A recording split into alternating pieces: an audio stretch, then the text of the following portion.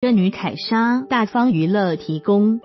记者吴婉婷台北报道，任女凯莎 Kasha Rainbow Tour 亚洲巡回演唱会改期时间确定，并选择台湾作为亚洲第一站。演唱会将于二零一八年九月十六日日晚间六点在南港展览馆举办，接着再前往日本、澳洲等国家。门票将于五月二十六日六下午一点于 KKTIX 起售。